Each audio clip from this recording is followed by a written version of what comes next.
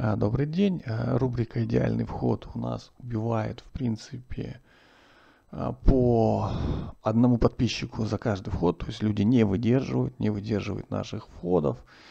И вот у нас опять рубрика «Идеальный вход». То есть мы покупаем акцию, сидим, ждем какое-то время.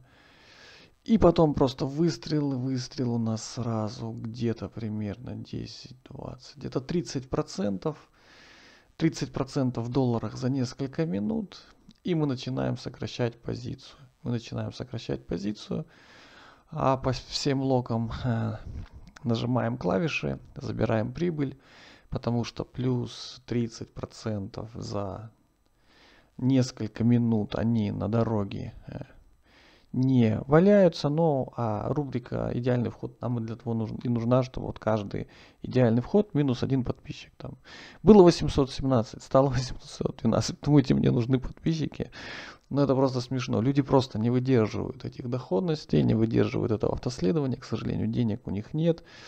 А учиться они в принципе ничего не хотят, потому что у нас все открытое, у нас абсолютно открытое автоследование, сигнал, сделки, все открыто, теории, стратегии, все есть на канале.